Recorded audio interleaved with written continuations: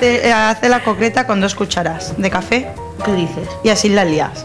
Cosa que yo no sé hacerla. A ver, mira, así. Es que yo lo tendría que apoyar, así no podría hacerlo. Es que apoyada quedaría muy recto y así no me, no me sale. Así hay más cantidad. Parece que hay más cantidad. No sé si nos va a dar tiempo a terminar la receta. Paula. Sí, sí, sí, sí, vamos, vamos en ello. Ya está el huevo batido. Ya está el huevo batido y ahora nos vamos ya a la sartén, ¿verdad? Ahora ¿Qué nos llevamos? Vale. Ah, bueno, que me he adelantado yo. Harina. Harina y pan rallado. Me he adelantado mucho, ¿verdad, Paula? Si es que me lo está diciendo Paula. Y te has adelantado mucho. Si es que.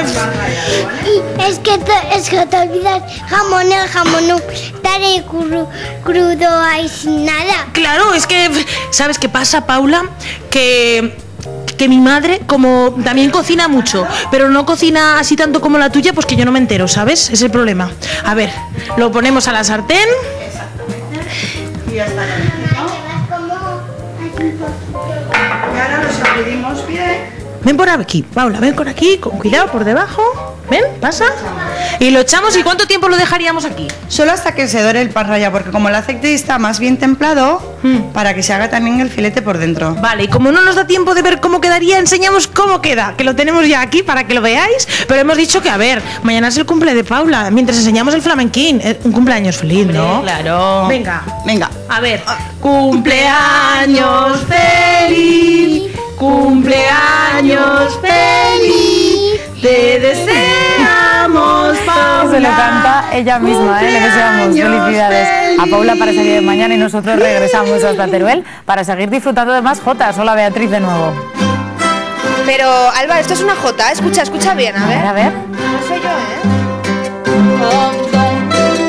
Me parece que no suena mucho Ah, J, pues ¿eh? no, no, no. Que vamos a volver a escuchar Jotas, Me pero no. parece que te estoy engañando. Te estoy engañando yo esta tarde. No, es que hay que decir que realmente eh, esto no es una jota. Están cantando el quinto levanta, eh, una, una música de Diana por la mañana, porque es que eh, me contaba Kobe mientras ellos siguen tocando que en el grupo, en la agrupación folclórica Ciudad de los Amantes, son un grupo pues profesionales que bailan y cantan jotas de maravilla y hacen todo este tipo de talleres que estamos hoy en uno de ellos con estos jóvenes y no tan jóvenes también.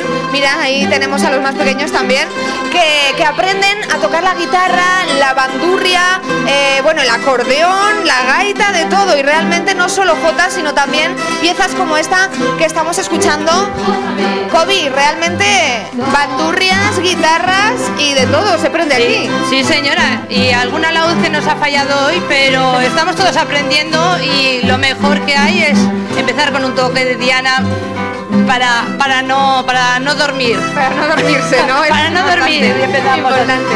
También el acordeón tocáis, también la gaita. Vamos, que cualquiera que quiera venir a aprender cualquier instrumento, podéis venir por aquí, ¿no? Podéis venir sí. aquí. Sí, porque, hombre, la base para todo esto que, que es la jota, para lo que estamos hablando y para lo que son las tradiciones nuestras aquí en Aragón, pues la- lo básico, digamos, la guitarra, la bandurria y el laúd, pero tenemos guitarricos, guitarrones y aparte se están enseñando los acordeones, el acordeón, se enseñan dulzainas, se enseñan las gaitas de boto, o sea que, que ¿Cuánta tenemos música? de todo, sí, ¿Cuánta sí. música? Yo me voy a acercar por aquí. Con este pequeñajo, ¿tú has visto que es que no le llegan ni los pies al suelo? No te llegan ni los pies al suelo. ¿Cómo te llamas tú? Javier, Javier, que veo que llevas las zapatillas de bailar la jota. ¿Le das a la jota y a la bandurria? Sí. ¿A las dos cosas? Sí. ¿Y cuál te gusta más? Eh, ya se queda pensando, ¿eh? Yo creo que las dos. sí. Ah, ¿ves? Las dos. Y es que, claro, hay muchos como él, como este pequeñajo, que, que eh, bailan, tocan, cantan, porque si me vengo por aquí con Seila, tú no solo bailas y tocas, ¿no? También que... Canto. También cantas. Vamos, que tú estás echando toda una jotera de arriba abajo. ¿O no? Sí. Sí, un poquito, ¿no? pues ya que os hemos prometido jotas y realmente todavía no las habéis escuchado, yo creo, chicos, Kobe, podemos eh, dar una jota para terminar. ¿Sí? Pues nos vamos a colocar porque además nos va a cantar Carmen, que la tengo por aquí. Cuando queráis, Alba, nos dejamos con esta jota, va delante de su madre para todos ellos. Venga.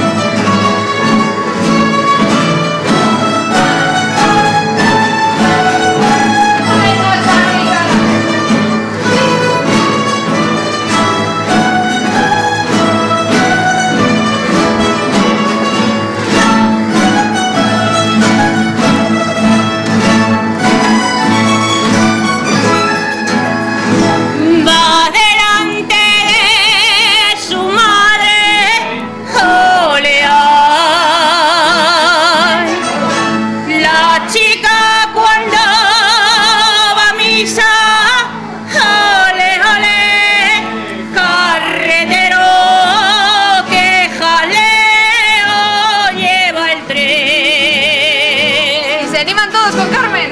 Adelante de su madre, olea. Les dejamos escuchando esta preciosa jota, va delante de su madre. Nosotros volvemos mañana en torno a las 6 de la tarde con más historias. Hasta entonces. Ole.